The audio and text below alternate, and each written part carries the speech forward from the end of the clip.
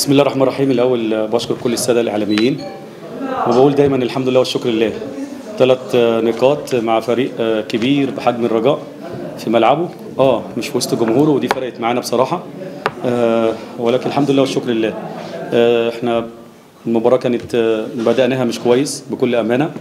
ولكن الحمد لله مع التغييرات اللي حصلت ومع الطرد كمان ربنا كان موفقنا الحمد لله إن إحنا ناخد ثلاث نقاط مهمين. بشوف إن إحنا من مش المباراة دي بس اللي تعبنا فيها. شوف كل المباريات من أول ما استلمنا المهمة الحمد لله إحنا بنتعب بنتعب بشكل كبير جدا. إحنا واللعيبة والمكتب والجمهور. آه كرة القدم أنا دايما بقول آه منظومة.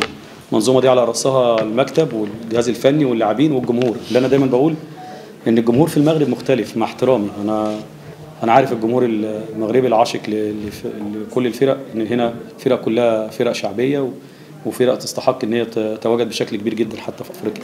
آه، المستوى متقارب من كل الفرق. آه، إحنا شفنا آه، آخر فرقتين كانوا موجودين في في ال- في البطولة واتزم و- و- وأسفي والفرقتين كسبوا الرجاء. فقوة الدوري المغربي ما تعرفش مين هيكسب مين. ولكن أنا بقول الحمد لله والشكر لله بشكر اللاعبين بشكر الجهاز الفني والإداري والطبي بشكر الجمهور أسفي اللي متواجد معانا بشكل كبير جدا بشكر المكتب. على الحمد لله.